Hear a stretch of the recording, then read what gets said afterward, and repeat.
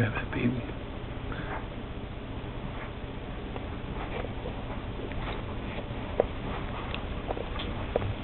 Let her be up there, okay?